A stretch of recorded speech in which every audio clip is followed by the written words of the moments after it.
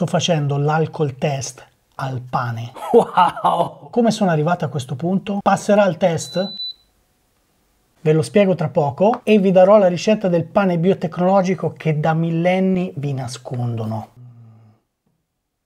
Prima voglio dirvi che questo video è il primo di una nuova serie che ho realizzato appositamente in occasione della European Biotech Week, la settimana europea del biotech, un evento internazionale che include eventi divulgativi un po' in tutta Europa e anche ovviamente in Italia. Perché la Biotech Week? Beh, è una bella iniziativa a cui ho partecipato in passato con alcune conferenze e spettacolo dal vivo, ma stavolta è venuta fuori un'idea diversa, che è quella di una serie di video divulgativi qui sul mio canale da inserire nel programma ufficiale della Biotech Week. La serie sarà di 5 video ed è realizzata grazie alla collaborazione con Sanofi Genzyme, di cui vi segnalo una bellissima iniziativa dedicata al mondo dei makers che si chiama Make to Care, con tanti smanettoni come voi impegnati a inventare oggetti utili nei vari tipi di disabilità. Se siete makers e avete un'idea da proporre, vi metto il link in descrizione ma prima guardate questo video.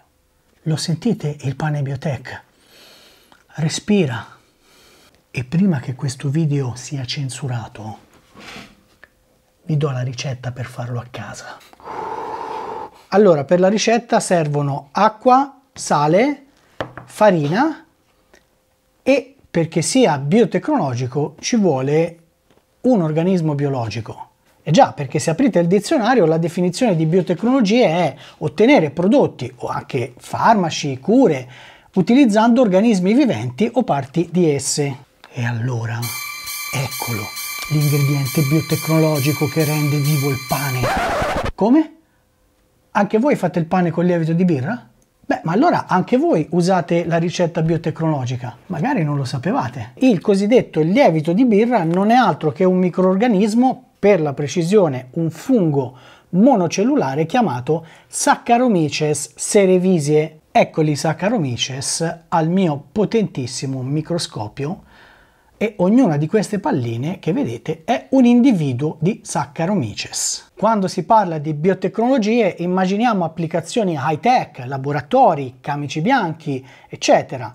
Ci sono anche quelle e ne parleremo nella serie, ma è anche vero che moltissime biotecnologie sono in mezzo a noi da millenni, come questa.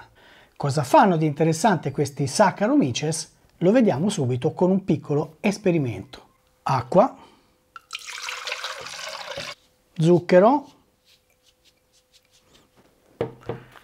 lievito di birra, mescoliamo bene e sigilliamo con un guanto di lattice. Per ora niente farina, vediamo come i Saccharomyces se la cavano da soli e li lasciamo tranquilli a lavorare per eh, una ventina di minuti circa. Forza ragazzi, dai dai dai! Il guanto di lattice si è gonfiato, quindi i piccoli mostri Saccharomyces hanno prodotto del gas. Quale gas? Cosa emettono i lieviti? Come facciamo a saperlo? Calma, lo scopriamo con un piccolo esperimento. Questo liquido trasparente è idrossido di calcio, volgarmente detto calce spenta o calce idrata. In descrizione vi scrivo come procurarvi l'idrossido di calcio e come preparare la, la, soluzione trasparente. È molto semplice, se poi avete delle difficoltà scrivetemelo nei commenti. L'idrossido di calcio è un semplicissimo rivelatore chimico di anidride carbonica, ovvero di CO2. Proviamo a soffiare nell'idrossido di calcio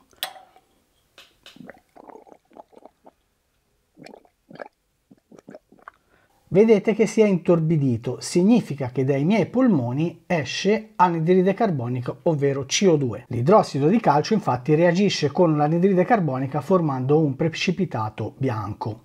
Nulla di strano, come tutti gli organismi che respirano, usiamo ossigeno per bruciare i nutrienti e nel far questo produciamo come scarto CO2 che dai tessuti passa nei globuli rossi del sangue e dal sangue passa nei polmoni dove viene espulso. E i lieviti cosa producono? Qui c'è il gas prodotto dai lieviti e facciamo la prova con l'idrossido di calcio.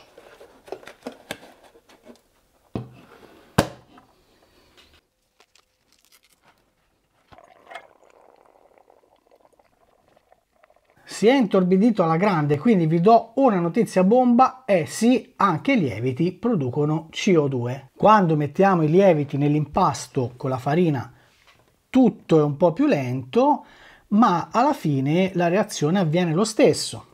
I mostriciattoli Saccharomyces in questo caso usano l'amido della farina come fonte di zuccheri e come prima respirano e producono CO2. Infatti moltissime bollicine di CO2 restano intrappolate nell'impasto e lo gonfiano rendendolo soffice, leggero, morbido, proprio come piace a noi.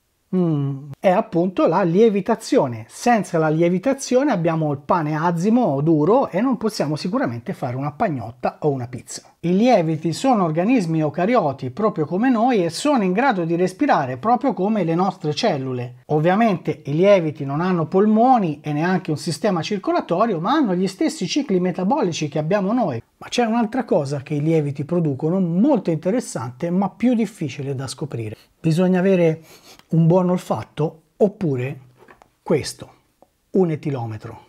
Stiamo per fare l'alcol test a una pagnotta. Documenti, signor Pagnottelli? Se ti piace questo video ti chiedo un piccolo favore, metti un like al video e se proprio vuoi che la tua giornata sia memorabile, iscriviti al canale, attiva la campanella delle notifiche così non ti perderai tutti i nuovi video che arriveranno. Questo è un etilometro che si usa per l'alcol test e che misura la concentrazione di alcol etilico. Il risultato è zero, sono sobrio. La cosa difficile è far soffiare il pane nell'apparecchio, però posso usare questo soffietto per prelevare un campione dall'interno della pagnotta. Signor Pagnottelli, è pronto?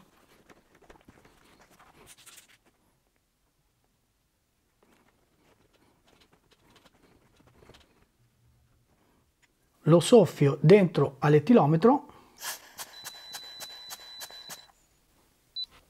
0240 c'è dell'alcol se questo fosse un controllo della polizia e se il signor Pagnottelli, come credo, fosse un neopatentato, il suo tasso alcolico sarebbe fuori dalla norma.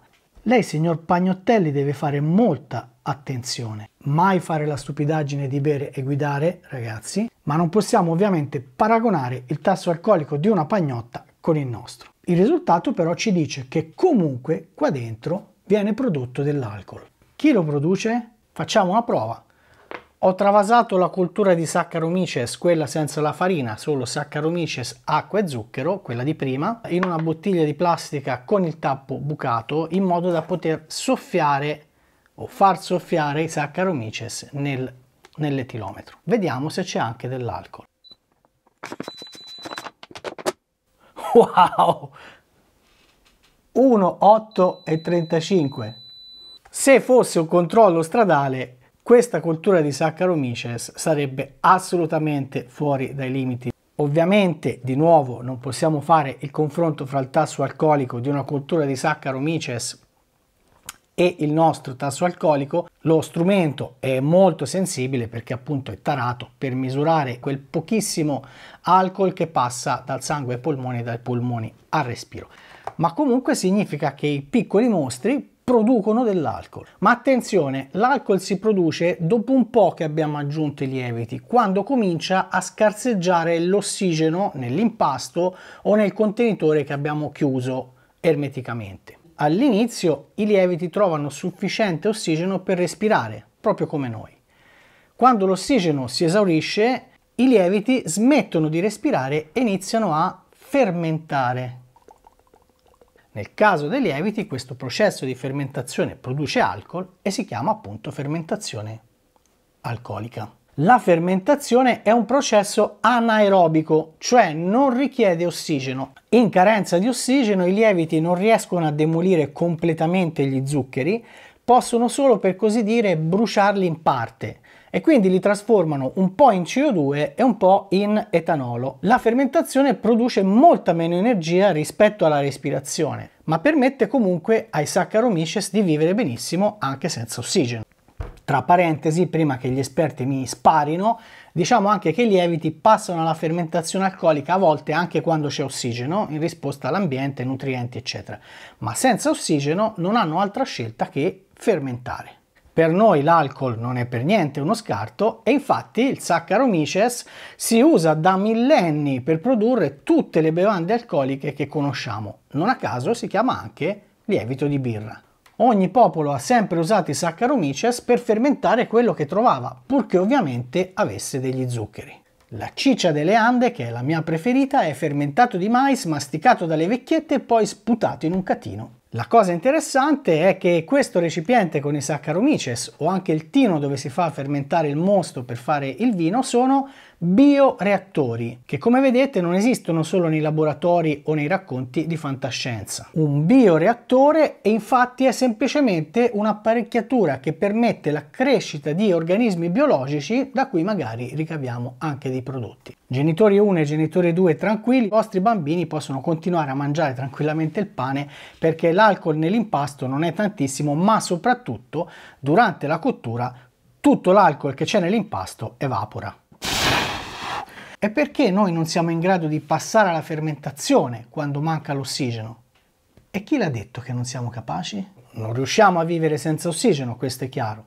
Però, però ogni tanto anche noi fermentiamo, o meglio, lo fanno le nostre cellule muscolari quando ad esempio facciamo uno sforzo intenso che non a caso si chiama sforzo anaerobico. In questo caso il sangue non fa in tempo a rifornire di ossigeno le cellule muscolari e loro, piuttosto che fermarsi, fermentano.